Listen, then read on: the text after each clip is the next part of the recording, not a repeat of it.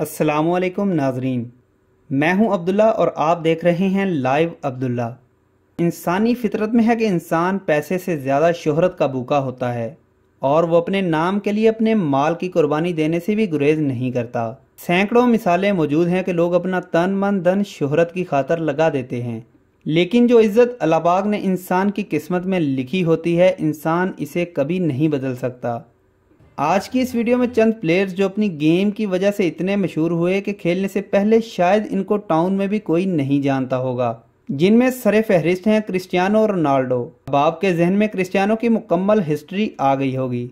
लेकिन मैं तब की बात कर रहा हूँ जब क्रिस्टियानो अपनी माँ के साथ किसी के घर में सफ़ाई करवाया करते थे। क्रिस्टियानो के वालद मुश्किल शराबी थे, जिसकी वजह से इनकी मुआशी हालत काबिल रहम थी। लेकिन जो ही उन्होंने फुटबॉल की दुनिया में कदम रखा तो उनकी दुनिया ही बदल गई। दुनिया के कोने कोने से लोग क्रिस्टियानो को ऐसे जानते हैं कि जैसे वो इनके पीरो मुर्शद हों। क्रिस्टियानो पुर्तगाल के स्ट्राइकर हैं जो अपनी गेम की वजह से करोड़ों दिलों पर राज करते हैं। अगर बात की जाए तो क्रिस्टियानो ने एक इंटरव्यू में कोक की बोतल को अपने सामने टेबल से हटा दिया था। को इस एक्शन से हज़ारों मिलियन का नुकसान हो गया। क्रिस्टियानो की दौलत अनगिनत है, लेकिन इनकी मशहूरी इतनी ही ज़्यादा है। टीम की छत के नीचे 5 फरवरी 1985 को रोनाल्डो ने आँख खोली जो बारिश से टपकती रहती थी। रोनाल्डो एक बिलियनर हैं, जो एक अच्छा फुटबॉल खेलने के साथ साथ एक बहुत ही अच्छे इंसान भी हैं, जो करोड़ों रुपए डोनेशंस बहुत से गरीब लोगों को देते रहते हैं। क्रिस्टियानो, आज भी अपने इस पुराने घर में अपने बेटे को लेकर जाते हैं और अपनी स्ट्रगल के बारे में अपने बेटे को बताते हैं। रोनाल्डो के वालद मुस्तकिल शराबी होने की वजह से इनका लीवर फेल हो गया।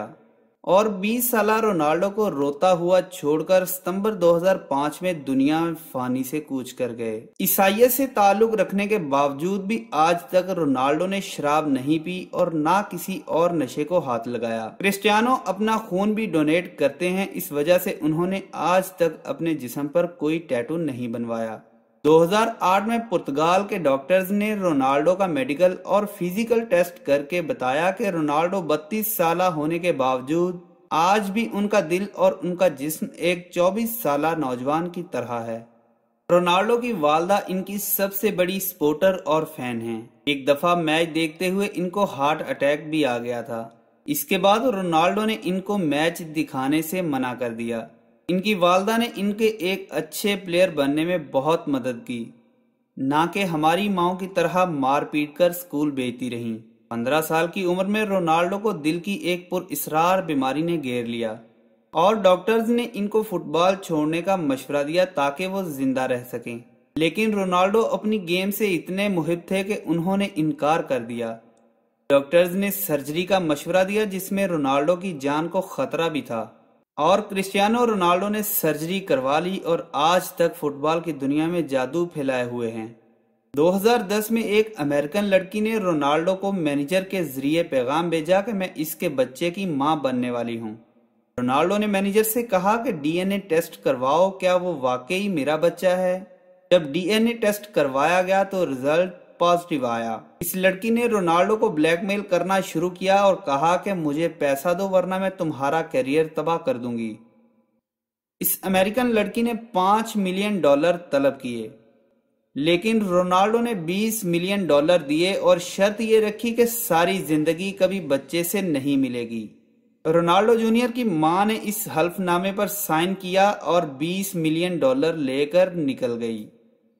लेकिन माँ तो माँ ही होती है, कुछ अरसे के बाद वो अपने बच्चे के बगैर ना रह सकी और दोबारा मिलने आई। और रोनाल्डो से इसरार किया कि उसके पास सत्रह मिलियन डॉलर मौजूद हैं, वो रख ले और मुझे अपने बच्चे से मिलने दे। लेकिन अब बहुत देर हो चुकी थी।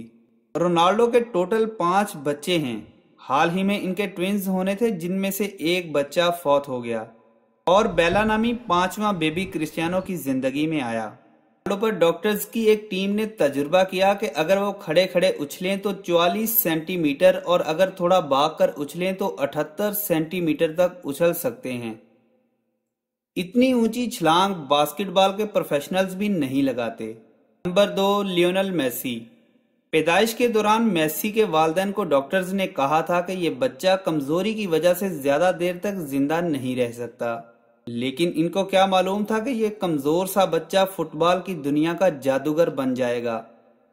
फुटबॉल की दुनिया दो हिस्सों में बटी हुई है। रोनाल्डो और मेसी के फैंस का कुछ कहना है कि मेसी रोनाल्डो से बेहतरीन प्लेयर हैं और कुछ रोनाल्डो को मेसी से बहुत अच्छा मानते हैं। लेकिन दोनों में एक बात कॉमन है कि दोनों ने अपनी ज़िंदगी का आगाज़ ज़ीरो से किया था और आज यहाँ तक अच्छी हिकमत अमली और खूब मेहनत के साथ पहुँचे हैं।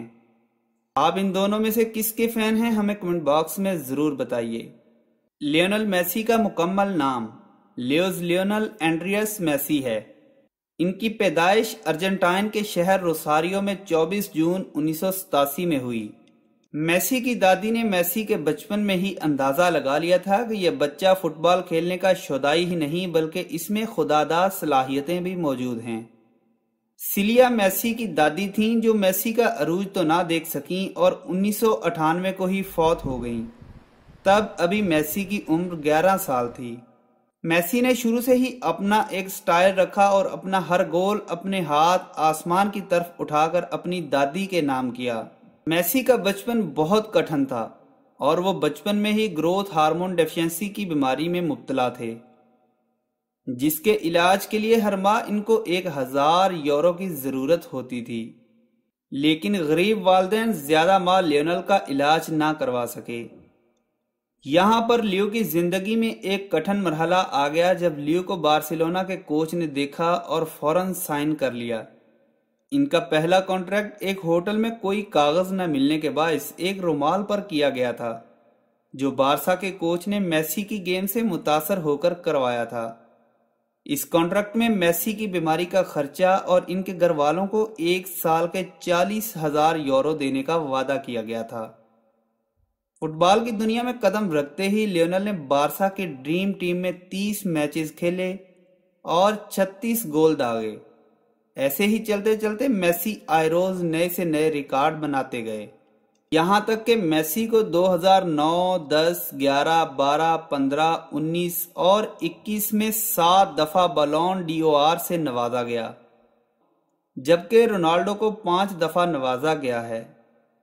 मेसी गेम के साथ साथ ज़िंदगी में भी वफादार हैं। उन्होंने पाँच साल की उम्र में रोसारियो की एक लड़की एंटोनिला से मोहब्बत की और 30 जून 2017 को एंटोनिला से ही शादी की, जिसमें से लियो के तीन बेटे हैं।